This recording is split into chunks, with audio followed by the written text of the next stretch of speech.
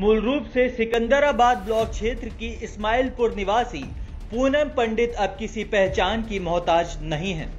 Rural youth game में 2018 shooting race 10 metre air pistol में gold जीतने वाली पूनम किसान आंदोलन के दौरान चर्चा में आई थी। किसानों की आवाज़ बनकर काले कानून के प्रति जागरूक करने और अन्य दाताओं की लड़ाई को आगे बढ़ाने वाली पूनम पंडित की माने तो अन्नदाता की लड़ाई अब उनके जीवन का लक्ष्य बन चुका है। इलेक्ट्रॉनिक मीडिया पर अपने उग्र भाषणों से पहचान बनाने वाली पूनम पंडित पुलिस की आँखों में भी अब खटकने लगी हैं। जो बैंकों में पैसा जमा कराया जाता है, शायद आपको पता होगा।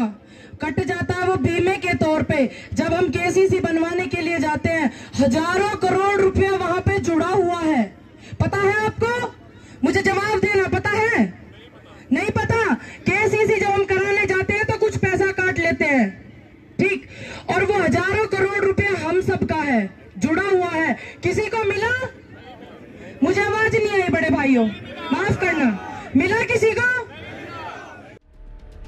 सरकार के खिलाफ बोलने वाली पूनम पंडित ने क्षेत्र से सैकड़ों महिलाओं को किसान आंदोलन में शामिल होने के लिए जागरूक किया है। लेकिन दिलचस्प बात यह है, किसानों के नेता के तौर पर उभर कर आई पूनम पंडित। टिकटॉक स्टार भी रह चुकी हैं। उनके वीडियोस को काफ़ी पसंद किया जाता है। चलिए आपको उनके कुछ टिकटॉक वीडियोस दिखाते हैं। तो मैंने पान वाले से बोला मैंने बोला एक पान लगा दो। बोला कौन सा पान लगाए बोला बोला मीठा पान लगा दो। बोला कितना मीठा?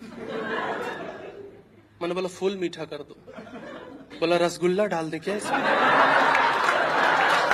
ठीक है। ठीक है। लव करके भागे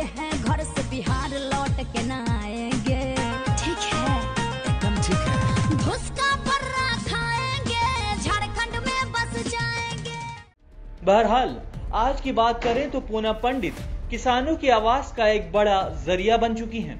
वो लगातार किसानों के साथ कंधे से कंधा मिलाकर खड़ी हुई हैं